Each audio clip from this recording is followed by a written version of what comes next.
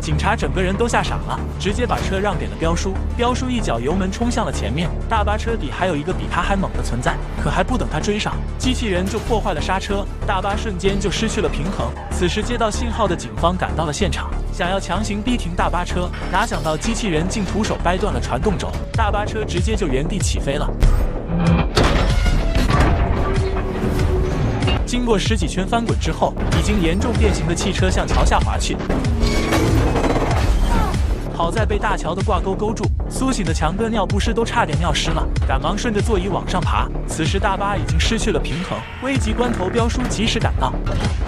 哪想到机器人也阴魂不散地追了上来。非常精彩的一部科幻大作，喜欢的朋友千万不要错过。